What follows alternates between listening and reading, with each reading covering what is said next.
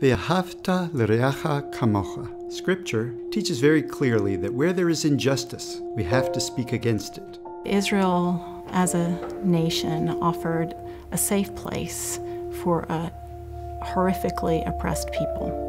But what's missing from that narrative was that in the establishment of Israel, villages were demolished, their residents were run out, sometimes massacred. Jewish terror groups like the Irgun and the Stern Gang were the ones to introduce the bombing of civilian buses and markets in Palestine. The Jewish army, the Haganah, had war plans, Plan D, that specifically called for the destruction of villages, setting fire to them, blowing them up, planting mines in the debris, and that the population must be expelled beyond the borders of the state.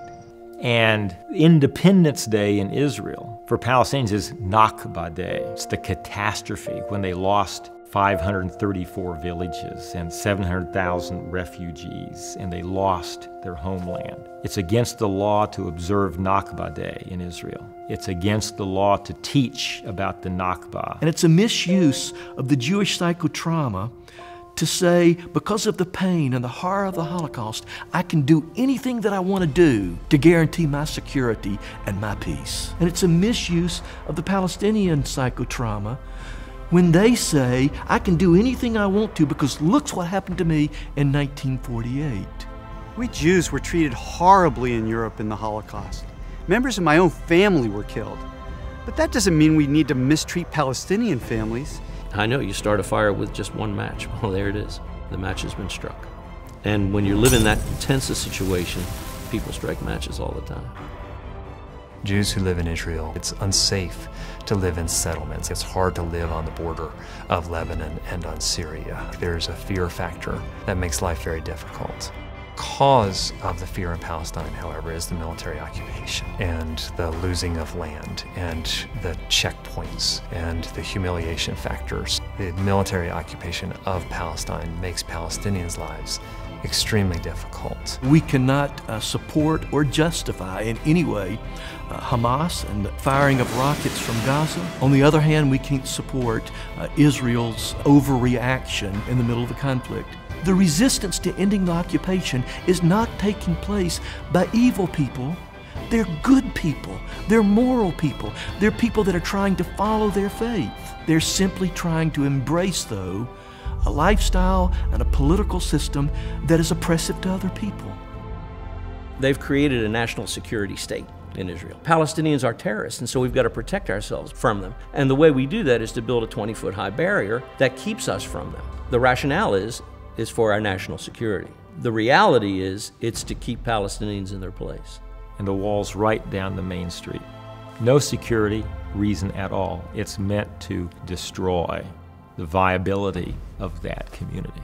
Most of them have never met Palestinians. They're on the other side of the wall.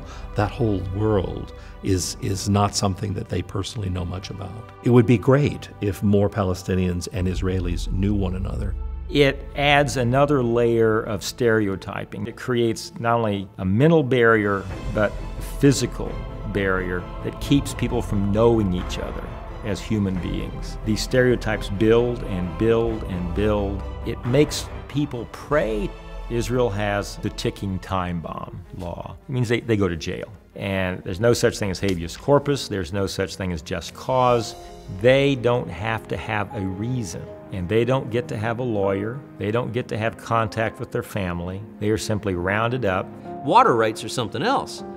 Uh, Palestinian farmers in the West Bank are aching for water, but the settlements in the West Bank have plenty of water for their swimming pools. We asked one guy that we were talking to, you know, when, when was the last time you had water? And he said, it's been three weeks. And we said, three weeks? What, how do you live without water for three weeks? I said, well, we have to buy it off the black market you can make life so difficult legally, it appears to be legal, that people voluntarily leave. So when political or economic situations get bad, I have seen the Christian population of the Palestinian territories go from 17% to 1.5%. If you can't get permits to build a house, if you can't travel, you're living under this constant threat of insecurity, then maybe you'll leave. Certain parallels come to mind, of course. The civil rights struggle in the United States. Certainly, the apartheid practice in South Africa, both actually give me hope. We can move beyond the system that we have. The amazing thing is that our Palestinian Christian brothers and sisters, even in the face of such oppression, even with anger inside, are willing to say the only option we have is to love and to resist this oppression with creative, nonviolent resistance. And that's the only thing we'll do. All the Palestinians I knew in the two years that I lived and taught there were the most hospitable, gentle, wonderful people. But in describing that to people back home, they would always articulate Palestinians as terrorists. They'd go, wow, I never really thought of them in any other way than the stereotypical terrorist or violent fedayeen or guerrilla fighter. We think of violence, we think terrorists. I think flower pots made out of tear gas canisters. Many of them remember fondly friendships and market exchanges that went on in the days when the families of Jews and Palestinians lived together and knew each other, cared about each other. Sure, there are extremists who are driven by hate, but as a whole, this, this myth that all Palestinians want the Israelis to go away or die is, is just fallacious. Jews of conscience in this country are appalled at what's being done in their name by their government, by the, the Israeli government, and are working diligently to try to change those conditions. We have two friends involved in this conflict. We have our Israeli friends and we have our Palestinian friends, and both are friends.